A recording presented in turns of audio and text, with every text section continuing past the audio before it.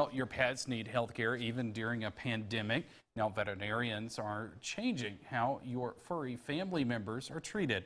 Our Stephanie Poole explains. Checkups for Emerson Animal Hospital in West Point is looking a little bit different.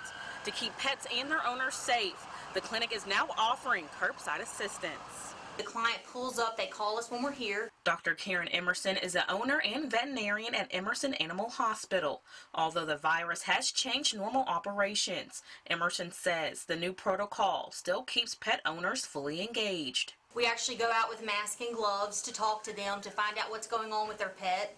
After we make sure that they're not sick or anybody in their home is sick, uh, we find out what's wrong with the pet. We actually bring the pet here in the hospital and we do our physical exam and then we call them in their cars and we go through kind of like what we would do if they're in an exam room, but we're communicating with them over the cell phone. Emerson says a way to prevent the virus from entering the hospital or around your pet is using protective gear. If you are sick or running a fever, we're wanting you to avoid contact with your pets. And we're not very extremely worried about your pets getting coronavirus, but we're worried about you getting droplets on the pets or mucus on the pets. If you're coughing and touching your face and then rubbing your pets, you can actually, if your pet touches you and then runs to another family member, they can get coronavirus from the fur.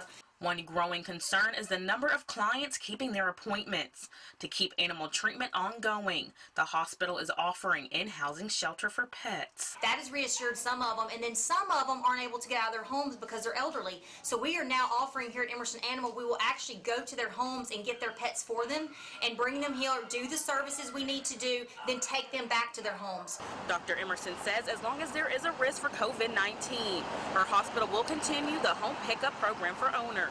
Reporting in Clay County, Stephanie Poole, WCBI News. You can visit our website for more information about the program and curbside assistance at WCBI.com.